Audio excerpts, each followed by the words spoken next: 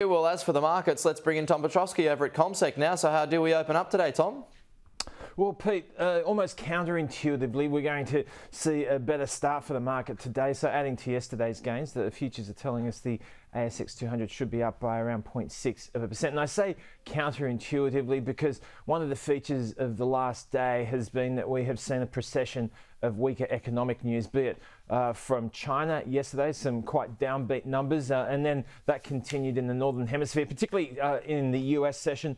Uh, an important survey of manufacturing activity, which is uh, surveyed by the New York Federal Reserve, the Empire State Survey. it's an important barometer of manufacturing activity in the Northeast of the US. Uh, that fell quite substantially. It was one of the biggest declines on record. And, and then sentiment in uh, the home building sector. Uh, that uh, survey was also uh, quite significant in the fact that it has fallen for eighth.